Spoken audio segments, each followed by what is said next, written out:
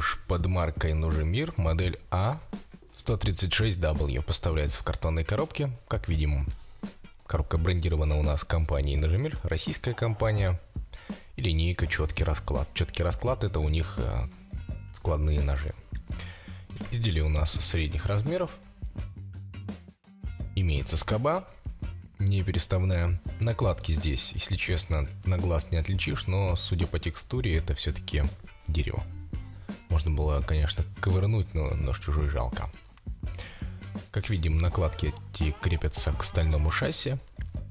Также имеется предохранитель для того, чтобы нож не открылся в кармане, потому как он является полуавтоматическим. То есть выкидывается он автоматически, а складывается в ручном режиме.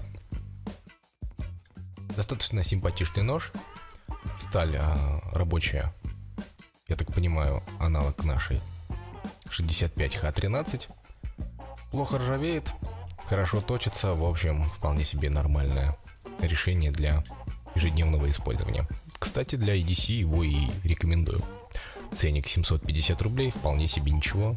Нож классический, я бы сказал.